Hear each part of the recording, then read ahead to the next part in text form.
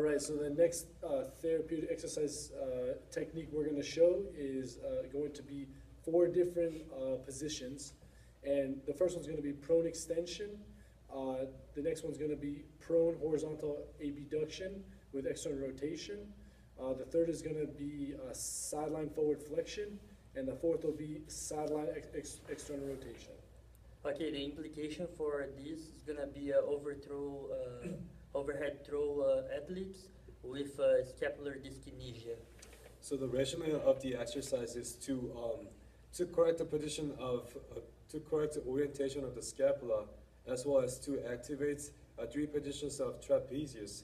So the pretty much if the patient with the incorrect scapular position is due to um, due to decrease uh, decrease of tissue flexibility as well as mu- muscle performance. So by these so by doing the exercise, it will increase the uh, motions.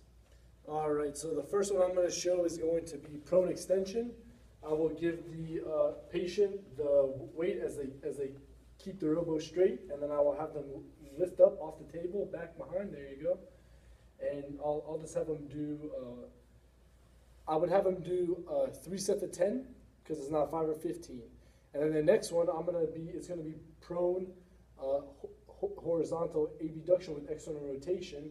The patient will have the arm straight out here, and then the thumb is gonna be pointed up here. Elbow's gonna be straight, and he's gonna lift up right there. Perfect, just like this.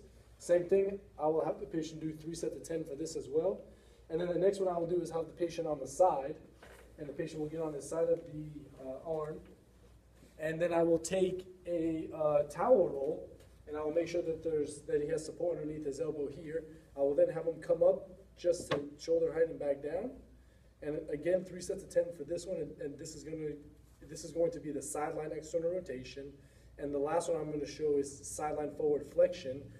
His uh, elbow is gonna be straight, and he's gonna be just coming up on the side, going just like this. Up there and back down, and then he'll do it again by himself, there you go. And again, we could do three sets of ten for this as well. All right, uh, research have shown that um, prone extension and the sidelying uh, external rotations are the ones that can orientate the scapular, ac- activating the three sections of the trapezius.